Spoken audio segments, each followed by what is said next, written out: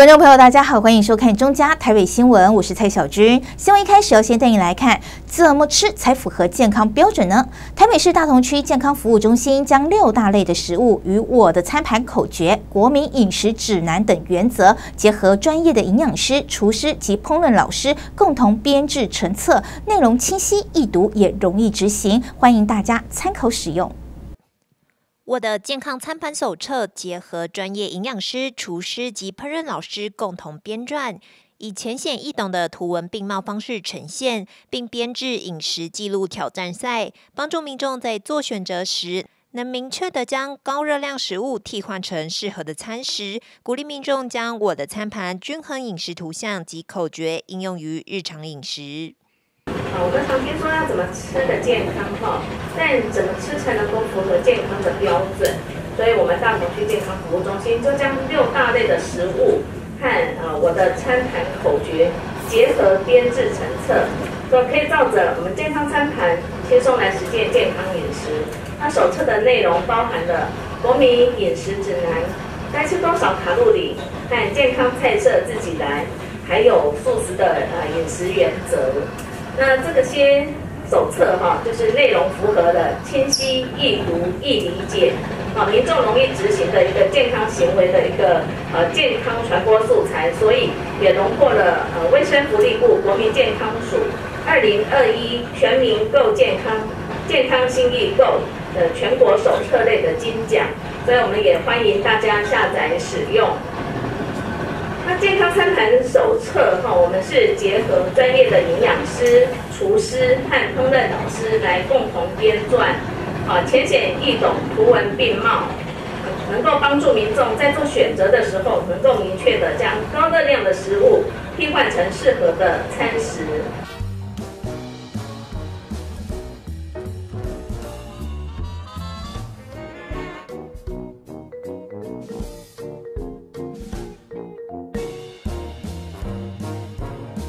我的健康餐盘手册中也透过 QR code 扫描，可以观看健康服务中心制作的影片，让料理更简单易懂。跟着影片就能制作美味佳肴，例如这道彩蔬拌凉粉，从食材准备到制作步骤，简单轻松就能完成。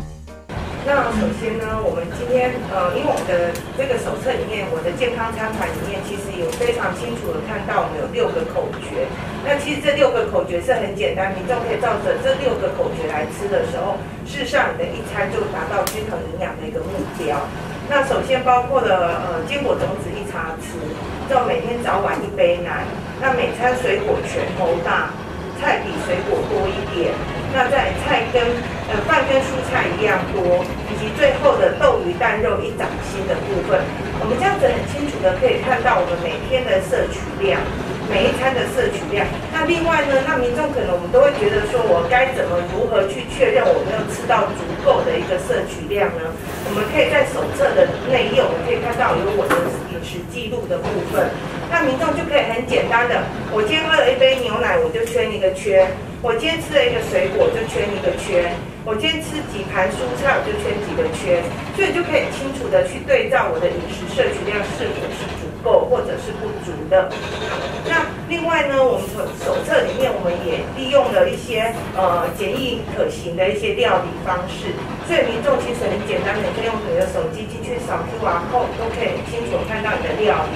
包括了比如说像。橄榄油菜炖饭，那是利用好的油，橄榄油，以及用蔬菜的鲜甜下去炖的一些，呃，下去做进行做炖饭，增加蔬菜的一些纤维摄取。那这道料理，那当然包括全谷杂粮、蔬菜、油脂。那另外呢，比如说像素蟹粉爬菜胆这道菜呢，那是利用蔬菜先下去熬成高汤，跟以往的高汤，呃，是不太相同的。那我们再利用高汤来炖娃娃菜，这样子一个料理里面，我们可以吃到蔬菜的鲜甜以及增加蔬菜的摄取量。那另外一般我们在过年年节当中的汤品，通常都是比较高油高胆固醇的。那所以呢，我们就可以利用这个什锦蔬菜豆浆锅。那这道料理呢，我们就会把它来做成汤品之后，可以有有有别于以往的年节的时候的一些高油品。高油的一些汤品，可以避免高胆固醇啊、高油脂的一个摄取。好，建议我们大家哈能够每周从事至少一百五十分钟高强度有氧的身体活动哈。在在年节期间，如在享受美食之余哈，在防疫的规范内，啊，可以约啊亲朋好友出去外面走走，骑脚踏车哈，适量的运动来维持我们身体的健康。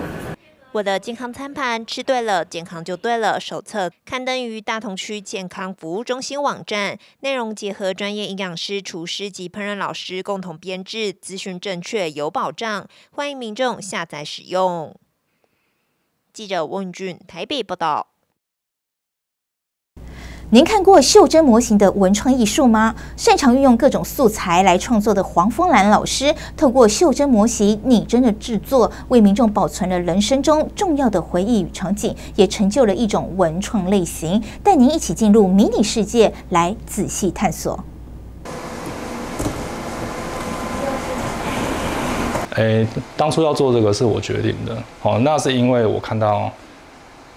应该说，我看到我爸爸他走走，我就。还蛮难过的。那我我我也是我也是希望说，透过用这种方式的，应该是说能保持，因为我答应过我爸爸一件事，就是说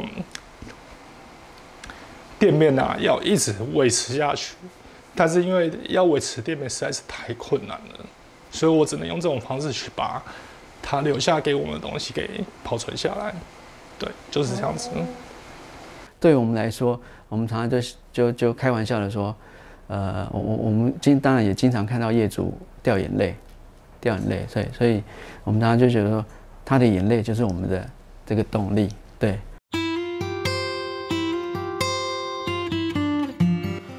中这个传统杂货店的袖珍模型是黄峰然老师费时两年制作的。透过委托人提供的照片与现场勘查，还有双方无数次的沟通，终于完成。而为什么要制作这个传统杂货店的袖珍模型？其实背后有一段温馨的故事。他第一时间就带回去综合的那家店，妈妈把旁边邻居所有全部都揪揪来这样子。然后因为我们刚刚有说那个招牌有二三楼嘛，他也去把那二三楼的邻居找来。然后就大家这边一直看看看看看很久，然后连那个外面跟他们租租摊租摊位的那些摊商，他也来看。他说：“哦，你去多位呢？加都好诶，当买到加都好诶诶物件。”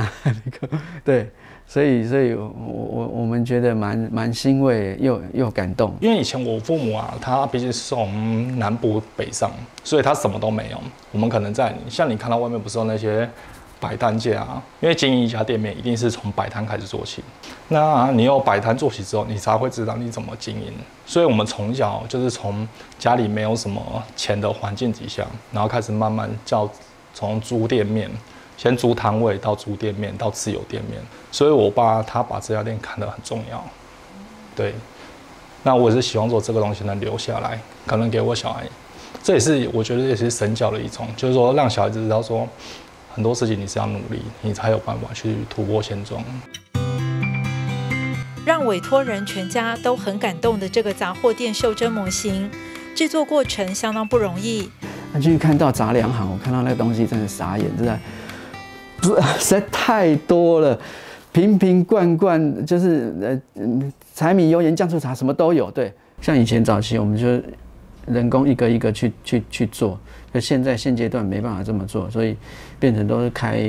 那个三 D 模，三 D 的那个素材模，所以开出来之后就会变成像这样子。你看它表面都可以看得到那些纹理，像这个就是它里面可能是酱油类的嘛，酱油类的我们可能就是用那个呃签字笔，好，它本来是透明的嘛哈。那如果我们要让它做出好像酱油不要那么满的话，我们把黑色签字笔就涂在这边，把它涂满。它就会有这种黑色、黑色、黑酱油的感觉。还有这位在台北创业开餐饮店的老板，因为房东涨租，很无奈，只好搬家。因缘际会下，也委托黄丰然团队制作袖珍模型，让他与伙伴创业的 K 给组能够透过袖珍模型文创艺术，把创业的情怀完整的保留下来，让他相当感动。当他们在做这个屋子，他不是给你一个新的屋子，他就是给你一个当时你的记忆中的一个屋子，所以它是脏的，他把它做脏，然后有点那种油油脏脏的感觉，然后你会觉得说，连这个痕迹都在这里。对呀，这就是我们当时忙进忙出的地方。第一个就像前面讲的，就是想要留一个回忆在嘛，那个是个重要一个记忆点。然后第二个呢，也。是让我们一些旧的客人，我们很多旧客人，他们曾经就是在旧店面，然后呢，然后可能跟着我们到这边来了，又或者他们后来长大了，然后也各奔西东了，没有再没有没有再来我们这边。但是如果他们有机会回来的话，可以就是看到我们曾经在那边有回忆的地方。那第三点也是让我们的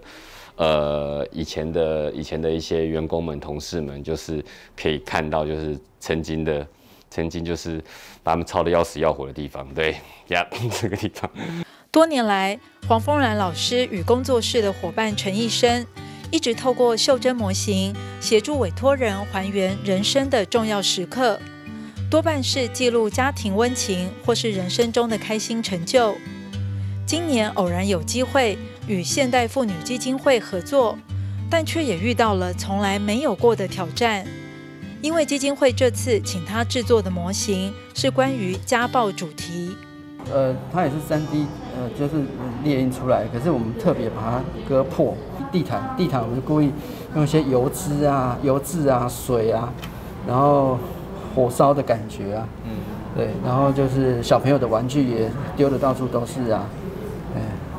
就是很多个案，然后看到的那些状况，而且其实真的非常生活，包括比如说里头真的什么电风扇呐，然后什么摇椅啊，然后椅子可能断掉或破掉，然后吃过的泡面呐，那些零食包，我觉得这个东西就真的是非常非常生活的。可是其实你会发现，哇，原来一墙之隔有这么多的故事，然后其实真的家家有本难念的经啊。我觉得不是说。嗯，我们的家庭有多么的幸福、平安、美满，其实真的都有一些问题。可是我觉得，真的如果到身体是呃被受伤，呃就是受伤的状况的话，我觉得是真的或许需要需要走出来，或是需要给一些支持跟鼓励。在我们过往这些温暖的场景里头，现在要把它做成，特别是呃家暴的那种背景，对我们来讲是很大的一个困难，因为他要把它做新之后再把它弄旧，那把它做破这样子。那这一次的话，我们请黄峰南老师来，也就是说，透过这样的模型，然后一个家暴发生以后，家里的情况产生的一个变化，跟他产生的一个这样的一个状况的时候，对每一个人心到底有没有一些的。刺激或是一些的感动，或者是一些的认知，那这个这个这样通过这样的一个一个教育的时候，大家才知道哦，原来在经过这样的一个打闹的过程，甚至有这样比较激烈的这个这样的一个肢体语言的时候，那可能家里面的东倒西歪，让孩子在这个环境里面，那可能产生了一种一种没有安全感。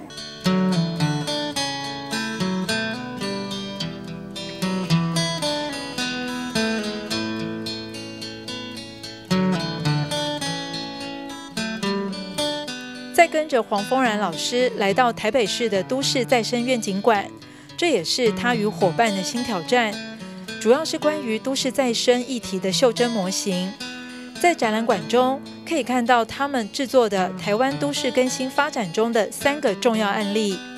有台北文林院、台北南机场以及高雄城中城。我们这个模型的建制主要不在于说，我们不是强调我们是。做对于建筑多么的考究，呃，讲究这结构体的问题，而是它整体的氛围。我们希望让民众看了这个作品之后，才发现会醒思说，哦，那我家里面的老房子未来的变革会是怎么样？如果我现在不好好整修它，或者是以后呃建商要跟我们谈的话，我们会遇到什么样的困境？对，那我们可以帮我们自己追，呃，就是。呃呃呃呃把把关注什么样子的权利这样子，透过袖珍模型文创艺术的呈现，让民众看展时更能融入每个都更案例当下所面临的问题，引人深思。而对于政府民间持续推动老旧都更时，更深层的人文意涵与城市记忆，除了图像跟影片，黄峰然老师认为，袖珍模型创作是一种很好的方式。可以兼顾具体意象与人文艺术性。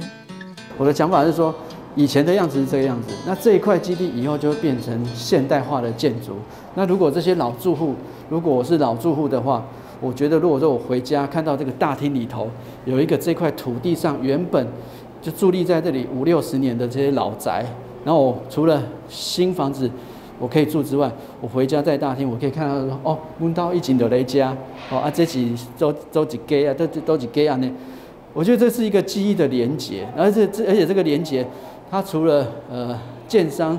它我我觉得它可以扮演是一个软性的东西，跟住户之间的一个一个一个磨合。好，你可以讲故事，搞不好它就变成是一个观光景点也不一定，就是呃城市走读的这种景点。黄丰然的袖珍模型文创艺术作品，不但带给民众赞叹的视角，同时也珍藏丰富的人文情感。也让记忆更有温度，让美好的那一刻时光凝结在你我眼前，不断涌现。记者陈淑平台北报道。Home Plus 中加宽屏在地影像赔率与证件计划开始喽！即日起到十二月十五号为止，丰富奖励等你来拿。详情请洽中加新闻 FB 粉丝团或扫描证件简章 QR code。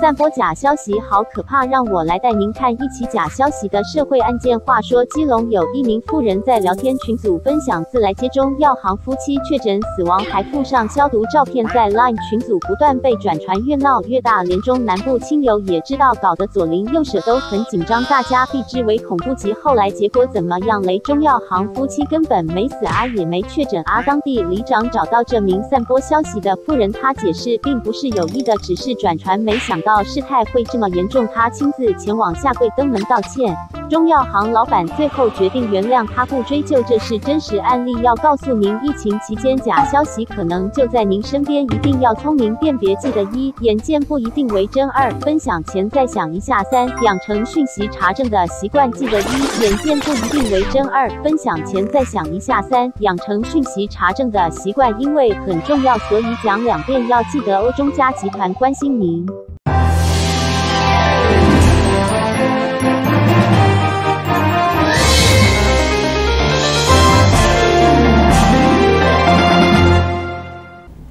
台北市警察局警用无人机队正式成立喽！市警局表示，无人机队可以结合市警局监视器及微波设备，即时传送现场画面。目前共有五台无人机和二十二名已经考取证照的队员，未来将应用在交通疏导和刑案侦查，从地面到天空建构立体搜证，全方面掌握现场的维安状况。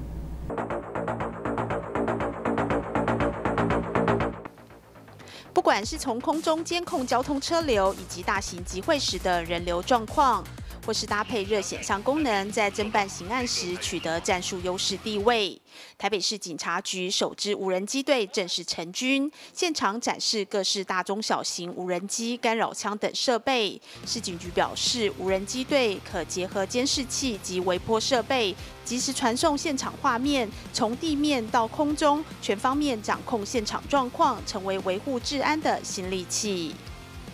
我们现在市府在科技建警的一个政策之下，我们市警局对于科技侦查设备非常的重视，所以其实我们在很早哦，在呃一百零九年开始就开始编列预算规划要成立无人机队。那无人机在我们的犯罪侦查上最大的功用就是它可以很快速的、很机动的，而且是隐匿行踪的一个状态，哦，来帮我们做高空的搜证，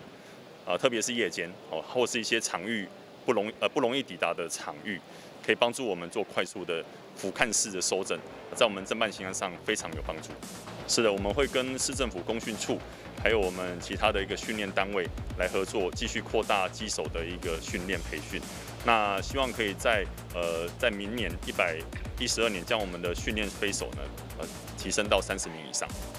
哦，根据现在民航法规的规定，那限航的部分，其实我们在黄区。而，是六十公尺以下，呃，是不受飞行限制；绿区一百二十公尺以下的飞行也不受飞行限制。所以，我们只要我们台北市呢，大部分都是在黄区以上，甚至是红区。哦，那如果在黄区的部分，我们只要在六十公尺以下实施飞行收证，应该可以应付大部分的一个情况。那如果说有必要飞行到六十公尺以上，或是到红区去进行飞行的话，我们会先跟民航局去申请限制，呃，飞行排除排除飞行限制的部分，哦，让我们勤务可以这个顺遂来执行。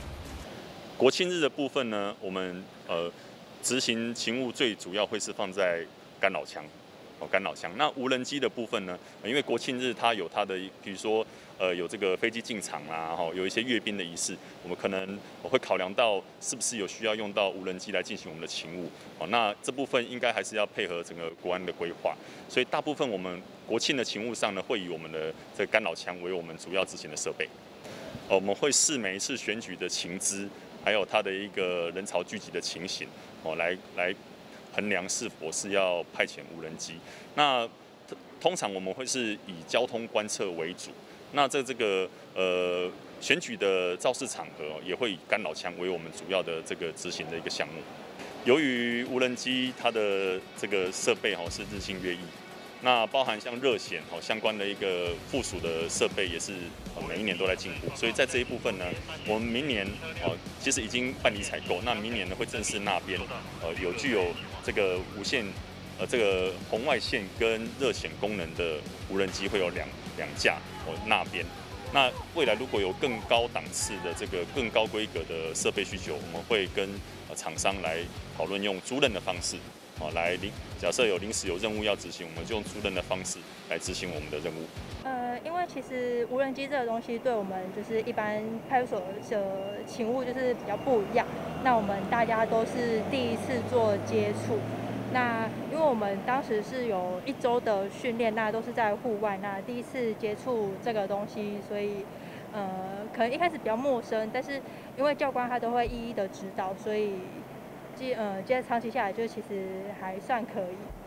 因为我们不会单独飞行，那我们旁边都会有一个观察员做陪伴。那其实有如果什么状况的话，其实旁边人都会给予协助。呃，因为我们都是会有一些，就是比如说协助犯罪侦查，那可能那个勤务跟一般的练习，当然是要就是更加的小心这样。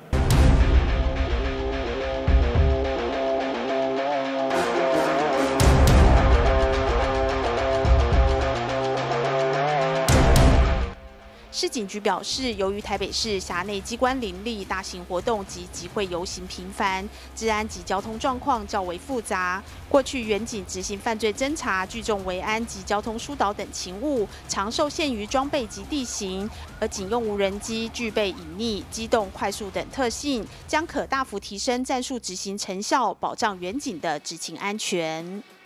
最主要的功能是要阻断无人机的。跟操作者之间的讯号，那阻断的范围呢，大概可以在五百至一公里之间哦，都一旦一发现，马上可以进进行阻断的动作。那阻断的效果，包括使无人机迫降，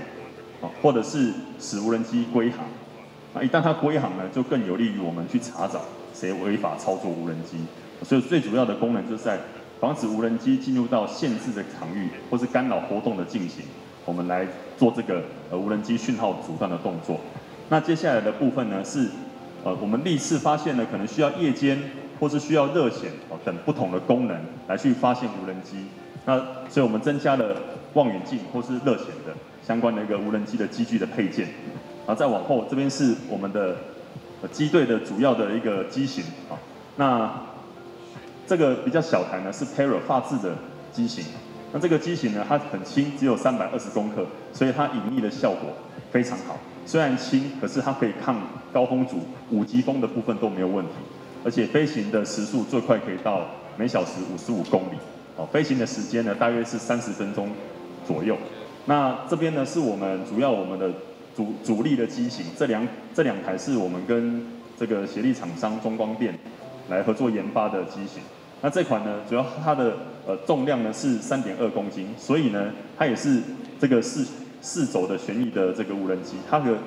能够承载的重量也比较重。那未来我们会在这样的一个机型下去搭载，搭配这个热显仪跟红外线的部分。好，那这款的机型呢，最快呢时速可以飞行到六十到六十五公里，哦，所以也是非常的机动，非常的方便。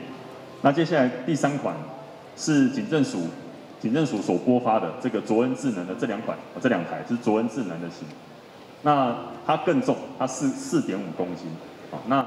它主要是还是操作在这个风势比较强劲的时候，因为这个重重量比较重一点。那飞行的时速呢，最高呢可以到七十公里，啊，所以这是我们主要的机型。那目前如果我们有不足的地方，就会比如说需要热显，需要其他的功能，像呃这几款都具有四 G 传输，所以刚刚呃副市长指示的，像将数据及及时回传到大数据中心的部分呢，呃这几款都可以做四 G 传输的动作。那未来如果有更高的传输需求，或是红外线、热显仪等视线上的需求，我们可以再跟厂商来做这个规格升级的租赁。我认为警察局应该要扩编，在我们的 CCTV 还没有装更精密的镜头之前，这个是有必要的啊。另外，我今天是希望说，这个机队里面应该要跟什么联系？现在我们在做智慧路灯，智慧路灯只是它是一个载具了哈，上面我们有五 G 的这个机器，然后我们收集的资料要往往哪里传？要往我们。台北市政府的大数据中中心来传了哈，这代表说我们台北市的大数据中心可以马上掌握市区里面所有应该管理的资讯啊，应该管理资讯。那最近 COVID-19，我们大数据中心也知道在我们的集会的时候，人从哪里进，人人的人流是往哪里流，我们都有记录。另外就是把整个的大数据，包括 COVID-19 所产生的。这个已经确诊的人数的分布情形，另外一个就是我们的交通了啊，包括计程车的这个在整个道路上的密布的情形。所以，如果今天无人机对慢慢的我们建立更为广泛，我相信把及时的资料传到我们大数据大数据中心的话，对我们市政的管理是有相当大的这个帮助的。当然，我们这个无人机队里面包括说侦查犯罪。交通的观测，以及最近我们青山宫的这个绕境灯节等等，都发挥很大的功能啊！我想，这个我们是科技进步的时代，尤其是 AI 这个慢慢的发展的时代啊，我们应该精益求精，不只是我们的机械设备要进步，另外我们的管理更要进步。我们后勤的，包括这个叫 Let's Walk 啊，就是。这个仪表仪表板的部分，我们可以充分的显示。目前市警局配有五架无人机和二十二名具有专业飞行证照的队员。一百一十二年将增列两架具红外线热显像功能的无人机，并扩大飞手编组，持续提升机队的能量。记者林奇慧台北报道。迈入第十二届的长庚永庆杯路跑，台北、嘉义、高雄三地将在十月三十号同日开跑。台北会场在总统府前广场举行。长庚医院指出，今年邀请有“跨栏王子”号称的田径国手陈杰担任活动代言人，也鼓励民众养成规律适度的运动习惯，可以有效提升免疫力，降低疾病的发生。好，练习比耶耶，对，可以正的，可以反的，都可以哈。长庚医院将在十月三十号举办二零二二年长庚永庆杯路跑，台北、嘉义、高雄三地将在同日开跑。这项路跑活动今年迈入第十二届。长庚医院表示，与病毒共存已经是全球因应疫情的趋势，而运动是提升免疫力很好的一种方式。因此，长庚永庆杯路跑今年照常举行。今年的路跑活动也邀请有“跨栏王子”称号的田径国手陈杰担任活动代言人。首先呢，我还是要感谢说，就是长庚对我就是这么多年来的训练的支持与帮助。那其实我们每天在长时间的训练跟跑步上，我们其实呃，首先我们要做的就是热身嘛。那热身就是在唤醒你的身体。然后有助于就是帮助一些伸展的一些肌肉，还有活动一些关节，然后这些都可以有助于提升你的运动表现。那在刚刚说跑步，我们常呃需要使用到的就是肌力。那肌力就是支撑你的肌肉，然后也可以降低这个呃受伤还有这个疲劳的这个几率发生这样子。那其实呃如果我觉得说像一般跑者的话，在家里的话。我们可以做一些像是呃起立蹲下、深蹲啊，或者是弓箭步分腿蹲这些，从呃简单的开始。那如果还需要更需要更专业或是提升自己的话，其实像现在我在外面也蛮多这种呃跑团，或是我们可以从网络上去学习一些一些知识这样子。那在每天的训呃高强度的训练过后，那我们还有很重要的环节就是所谓的收操。那收操也是可以呃增加这个恢复的能力，然后来接受隔天这个更高强度的训练。我们也非常荣幸，请到我们三届奥运参赛国手，也是我们国内四百公尺哦纪录的保持人陈杰哦陈选手担任我们的活动代言人。刚刚我跟他站在一起，我就想要跑起来了啊！好，那每一年的路跑，我们都有一个主题啊，可以让大家跑得更健康。所以今年的主题就是如何正确运动，有效提升免疫力。那么这两年新冠肺炎啊肆虐全球嘛啊，像我们国人都很配合施打疫苗，那么政府也在公告十月十三号啊就有机会开放边境，所以。这个我们就是要与病毒共存，那么如何提升我们免疫力啊，更是一个重要的呃议题。那路线上来讲，我们安排是从呃从早上的呃第一场是六点的竞赛组十点五 K，那也是刚刚我报到黄金路线，就是我们跑的是仁爱路啊，那是由西向东，那到了金山南路左转到滨江街做一个折返，那这个人数有三千啊，大概七百位左右。也非常的不容易。那第二场六点十分就是我们的休闲组的。那我们这边除了我们的一些选手之外，我想呃喜爱运动的，甚至呃我们长庚体系的这边也包括整体有七千多位参加。所以这个路线上来讲，我们就比较稍微简单一点，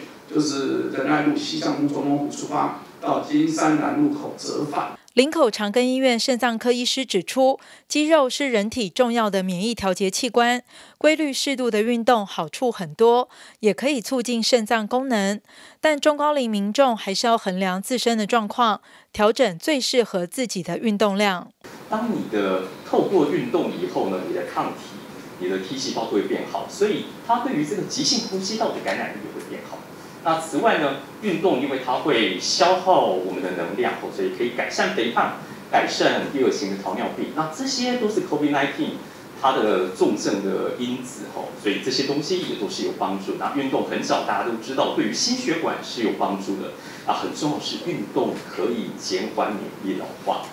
那对于肾脏其实是有帮助的，因为肾脏病最常见的原因就是糖尿病跟高血压。所以透过运动改善糖尿病、改善高血压，当然对肾脏是有帮助的哦。而且我们多慢性病的啊患者平常会感到焦虑，或者是我们现在在 COVID-19 的时代，你不小心得到 COVID-19，然后可能要被隔离，其实大家都会有焦虑的情况。怎么样改善？运动就是最好的解放哦。呃，运动的话，其实是根据每个人的需要以及每个人的。的状况来调节最好的状况哈，所以如果是中高龄的呃人的话，我们会建议，如果平常没有做过运动的，可以在路跑之前我们就开始做一些训练，那这样子可以让自己的身体的状况呢慢慢可以适应比较长程的路跑。那在路跑过程当中，呃呃，在选择的时候，如果之前比较没有经验的，我们可以不需要去选很长的，可以选短一点点的。然后而且运动的过程当中。不需要跟别人比快哈，因为目的是要健康，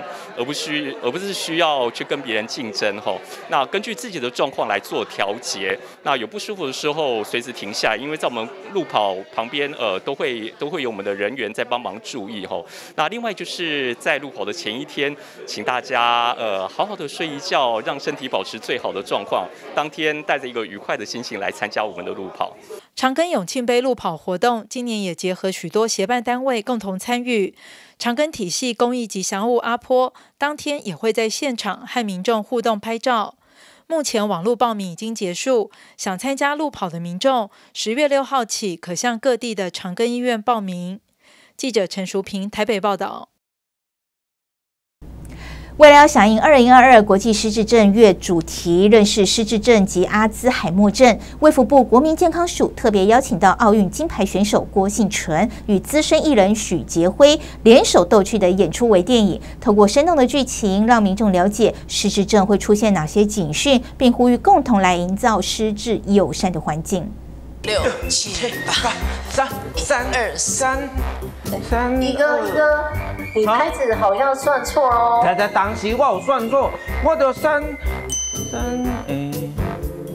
奥运金牌举重选手郭幸淳与艺人许杰辉与国民健康署合作演出失智友善的宣导微电影，两人幽默逗趣的演出带出了罹患失智症可能出现的症状，令人印象深刻。呼吁家人不要忽略这些警讯，及早就医不耽误。另外，影片中也推广失智友善的观念。那今晚来练肌肉啦。好吧，那我们把哑铃举起来吧。好，哑铃哈，哑铃。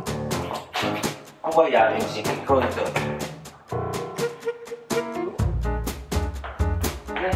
我哑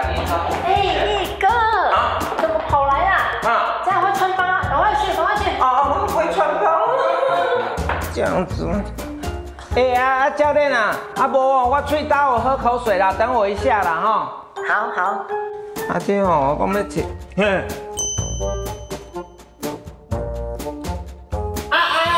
哑哑哑铃呢？伫遮啦，哎，我车拢无啦，啊啊啊啊！今嘛姐姐要怎啊？要来长肌肉啊！那在微电影的一哥有这个在热身的时候数错拍子这个问题，就是判断减弱的这个征兆。嗯，对。那把哑铃放在冰箱是物品错字的一个呃问题。对。然后还有在对于自己熟悉的这种运动感到。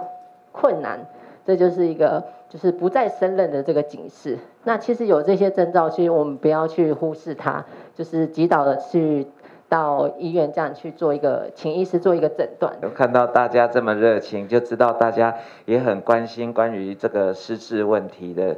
大家真的要共同的多一点的来关心这样。那刚刚我们影片里面，或者是我们前面啊很多的这些讲解，我相信。呃，大家都应该知道了。我我其实这次合作，我比较跟他们在沟通的过程，我比较强调是说，如果家里面有失智的病患，那第一个不要认为说啊，那我记得病我无，然后刚刚拍谁，不用，就真的好好的去就医就好，不要认为说这是一件丢脸的事情。那第二个是家人友善的共同陪伴。哦，比方说他如果做错什么事情，然后请不要对他有一个不好的表情哈。我我我模仿给你们看，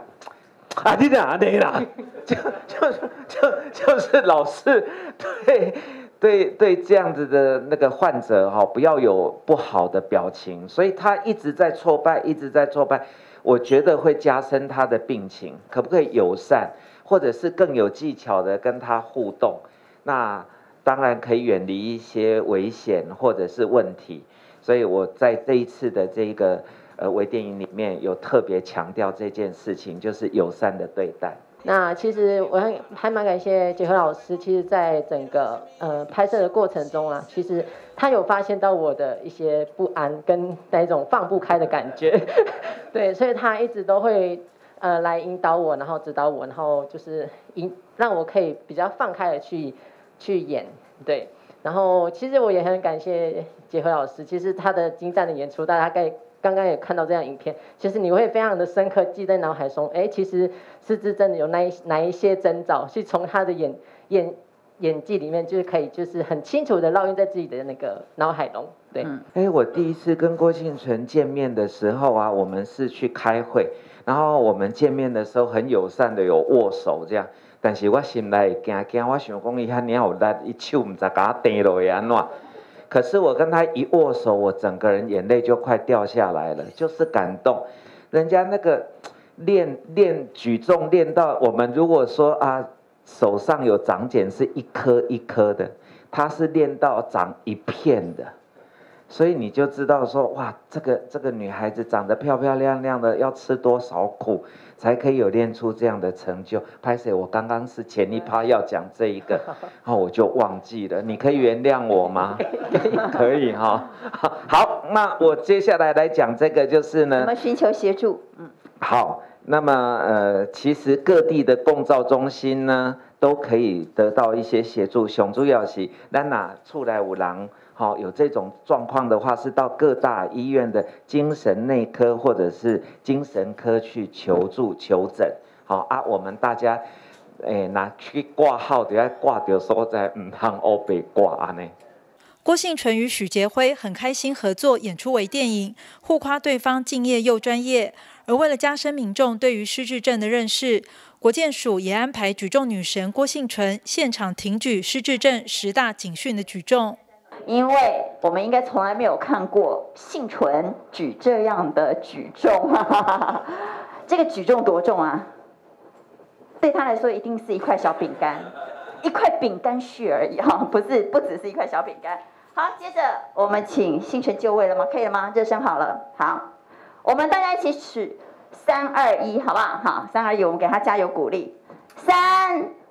二一，请举起。认识失智，掌握健康，大家一起来做我们的健康金牌选手。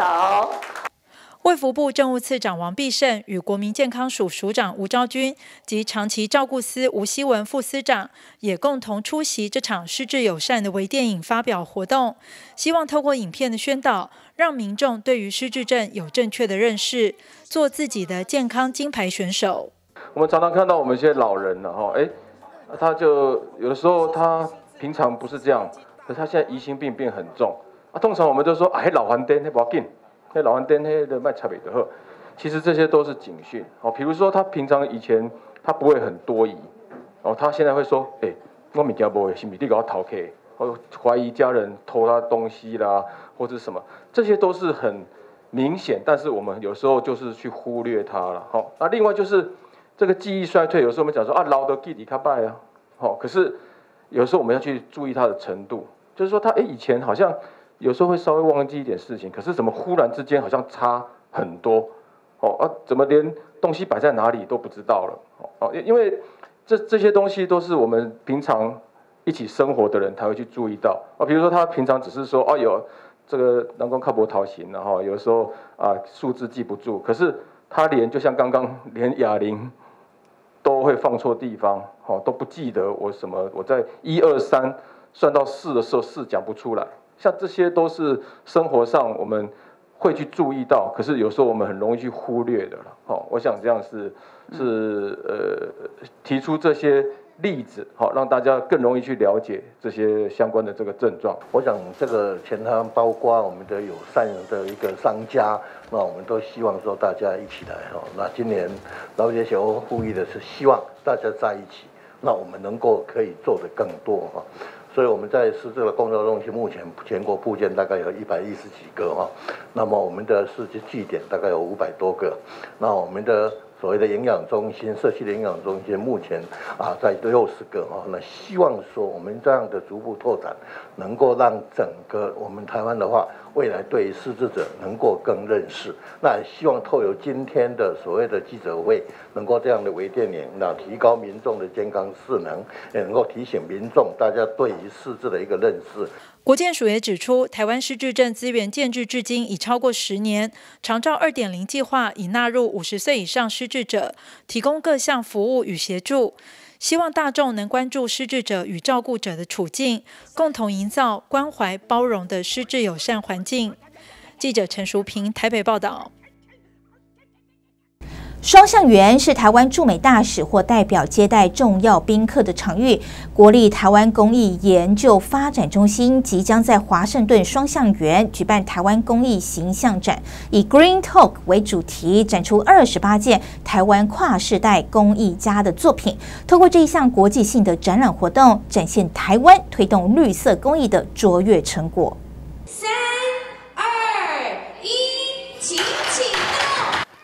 台湾公益研究发展中心主任张仁吉与多位嘉宾一同用木锤敲击木笋，宣告即将于华盛顿特区时间十月五号在双向园举办台湾公益形象展。展览以 Green Talk 为主题，展出二十八件台湾跨世代公益家作品，以公益创造对话，展现台湾公益友善自然、社会与职人的公益精神。我们企图以这个 Green Talk 的这样的一个主题来做诉求，那我们以公益为介质哦来做探讨哈。那我们想呃公益呃不只是一个物件哈，所以我们企图以 green 的这样的一个 value 哈或价值或精神呃来做我们所要呃传达的啊这样的一个价值精神啊。因此我们呃所谓的 green 讲的是一种以绿色的这样的一个正正向的啊这样的一个性格主张来啊做呃描述哈。那所谓的绿色，强调的是一种啊台湾啊公益哈，着重啊这种啊自然循环、平衡、宽容、生命力的啊这样的一个公益精神啊，所以因此我们以绿色的啊这样的 green 来做我们的啊啊 content 的基底构想。我们名为 talk 讲的是双向园这样的一个呃国际对话的一个呃空间哈，事实上它就是一种文化的啊对接关系。啊，是一种文化的对流关系，不只是视觉啊的一种啊这种表面的啊，或者是视觉上的啊这种的一个啊对话关系。好，因此我们就以 Green Talk 啊来作为我们这次的啊这个行程的一个啊策展的观点哈。那我们的取件哈，我们有来自台湾啊各个世代的曲件哈。我们有来自呃陈景林的作品，我们有来自于啊叶建剧的作品，我们还有来自陈进祖的啊新时代的作品，我们有来自传统的啊工艺的作品，我们也有来自三 D 电影的作品啊，所以因此啊作品的取向有啊多元的技巧，有多元的素材，有多元的想法，也有多元的五套符号。那我们副标取为台湾 Quiet Somewhere。因为我们着重的是啊，尊重自然、尊重精神、尊重生活化。公益展以人与自然、人与物件以及人与社会三个面向，展现出以公益为介质的友善关系。开展当天盛逢双向园国庆晚会，除了向贵宾展示台湾公益文化之美，也借此传递台湾公益的精神与内涵。我自己在华府，总共前前后后在代驻美代表处工作了十二年。那曾经有一年的时间，我也在负责管理这个双向人。那呃，所以其实我知道那个地方对于台湾的整个历史来讲，是一个非常重要的一个地点。那以往对我们外交工作人员，我们是强调它的历史，但是我觉得这一次的展览可以把我们的台湾工艺品带到那边去，刚好又是到到时候会是我们的国庆酒会，可以让外国人士。看到台湾工艺家的这个呃最棒的一个呃元素，而且不只是看到工艺产品本身，而且有一个前瞻性的，台湾可以把这个世界的这种艺术品带到哪个方向去？所以非常感谢呃所有的在场的这个工艺家，还有主办单位、协办单位促成这一次的展览。我相信这次的展览会是未来诸多展览的第一步。呃，这么好的展览，我相信我们的这个呃外交部也会希望说，能够把它带到不只是只有美国，我们希望能够带到更多的地方去。哦，我这一次展出的作品是用金工红铜去锻造一个物件，这个物件的作品名称叫卓纳自在。那其实就是像是我们台湾在不管是创意、文化、生活及族群，都是一个多元广阔的一个包容。那作品的理念啊，跟灵感来自于大自然。啊，对生活的体察体悟，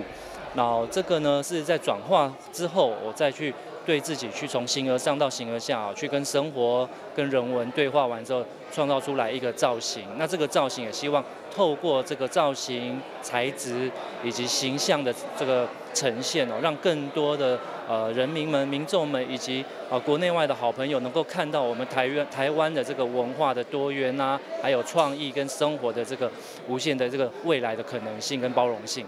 啊，人跟自然、人跟精神、啊人跟物件之间的三角关系，形成一种叫做 Rain Talk，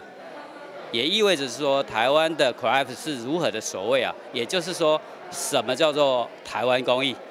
那台湾工艺是如何的美好？它的美好就在于我们尊重自然、尊重循环、尊重平衡、尊重生命力，也就是我们这一次我们设定的主题叫做台湾 Talk Green Talk。台湾 Craft Software 的一个命名取向，我想这样的主题诉求不只是物件，也不只是空间美化，也不只是视觉传达，传达是台湾的公益的文化的价值精神、文化的符号以及我们的公益性。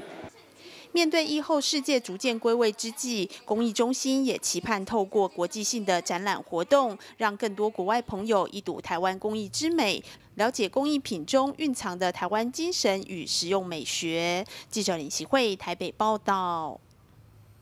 眼见一定为真吗？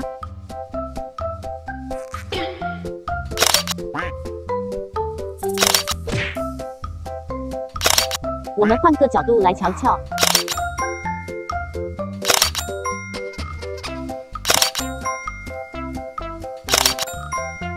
所以记住，眼见不一定为真。科技进步，人人都可以是记者、是编辑，有字有图有标题，越耸动让人印象深刻。作者可能只是太无聊来玩玩而已。另外还有照片合成技术造假就更容易。还有现在很夯的 AI 技术，可以移花接木，不是他说的都会变成他说的。那该怎么办？教你简单小贴布：一、看到消息前先想一想，这会不会是假的？二、养成查证讯息的习惯，看看新闻来源、作者还有日期，更要透过各种管道来查证，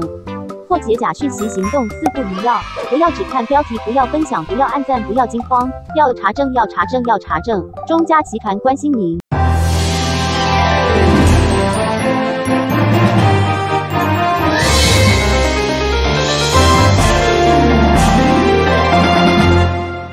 基隆市政府社会处今年特别以海科馆方舟一号女船长简如婷担任基隆市台湾女孩日影片的主角，呼吁社会共同提升女孩权益，翻转职场性别的刻板印象。只要上网看影片，按赞、留言、加分享，就有机会抽中平板电脑。基隆市政府社会处妇幼及救助科今年特别以海科馆方舟一号年轻女船长简鲁婷担任基隆市台湾女孩日影片的主角。没有忘记喜爱大海的她，选择从事动力小艇船长职业，克服职场挑战，勇敢追梦。简鲁婷的家人也一同出席影片发表会，为她加油打气。最大的动力，我觉得是我的心。因为我知道我的心还是热爱大海，我不能欺骗我的心，所以后来我原本有一个很稳定的工作，就是船产的配电员。那时候我就觉得说，我应该给我自己一个机会，因为我还年轻，我可以再离开，